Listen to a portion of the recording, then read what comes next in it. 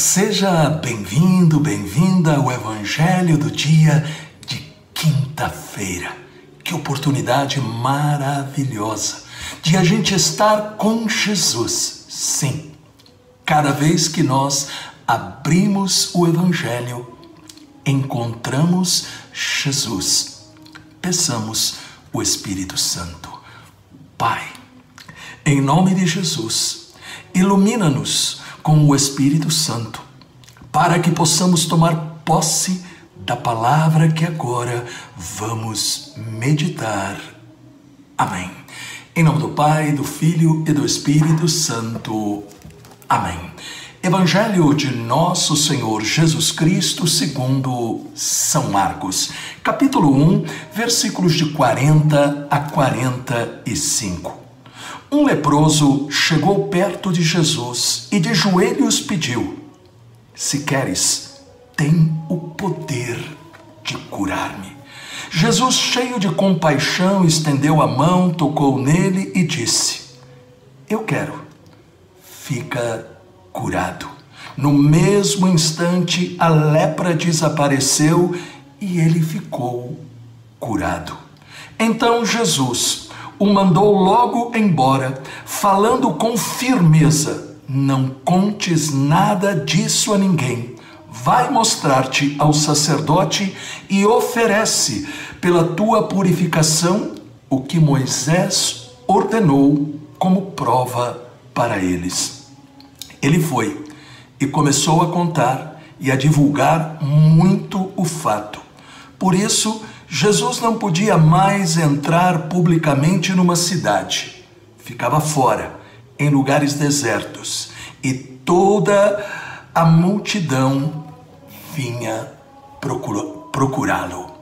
Palavra da salvação. Glória a vós, Senhor. O Evangelho nos coloca novamente diante da cura de um leproso suplicando. Marcos 1, 40.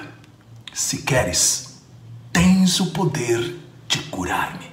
Esta é a súplica ardente de um homem cansado de sofrer e que reconhece o poder de Jesus.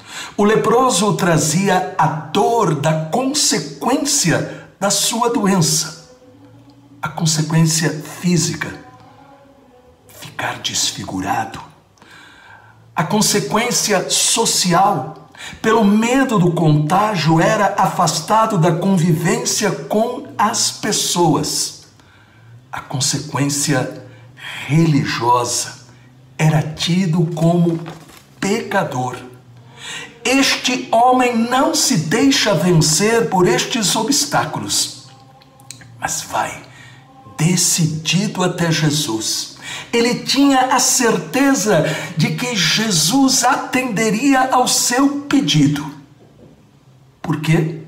Ele sabia que Jesus amava e buscava o bem de todas as pessoas, não só pregando, mas também curando as feridas de quem se aproximava e confiava nele. Esta é a mesma atitude que Jesus espera de todos aqueles que buscam a sua ajuda. Diante da súplica humilde e confiante do leproso, a reação de Jesus é a compaixão. O sinal da compaixão está no gesto arriscado e proibido pela lei de Moisés Marcos 1:41. Estendeu a mão, tocou nele. Esse toque curador não curou somente a doença física, mas também restaurou seu valor e o fez encontrar a misericórdia de Deus. A cura do leproso nos dá algumas lições importantíssimas. A primeira é de crer sem medo que o propósito de Jesus para a nossa vida é nos curar no espírito, nas emoções, no corpo, nos relacionamentos. Basta abrir o coração. A segunda lição é que nós devemos pedir-lhe que nos cure de tudo que nos impede de segui-lo. Ser cristão não é ir a ele, alcançar o que pedimos e depois voltar para a nossa antiga vida. Não. Ser cristão é em sinal de reconhecimento a Jesus, segui-lo, viver o Evangelho. A terceira lição é testemunhar aos quatro ventos como o leproso, a cura recebida de Jesus. Nós não podemos guardar somente para nós as maravilhas de Deus. Pai, com a intercessão da doce Virgem Maria e de São José, cura-nos, como o leproso foi curado. Toca em nossas feridas e dai-nos a alegria também de testemunhar as tuas maravilhas. Amém.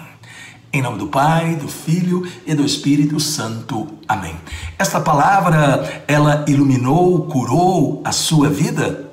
Deixe um comentário e faça como o leproso. Dê o testemunho, compartilhe para cinco pessoas que você ainda não enviou uma mensagem. Compartilhe que Jesus cura, que Jesus liberta, que Jesus recupera a nossa vida.